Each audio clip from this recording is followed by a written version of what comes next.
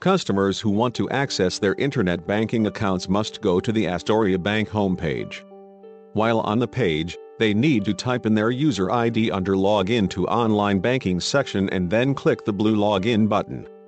Customers who have forgotten their user ID or password need to call the bank at 1 800 278 6742.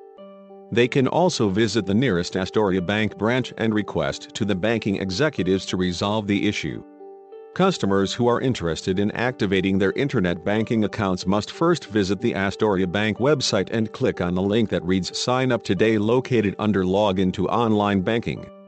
In the following page, customers need to read the banking agreement and disclosure. Once finished reading they need to check the box to indicate they have read the terms and then click the Continue button below. This opens an online form which the customers need to complete before clicking the Continue button.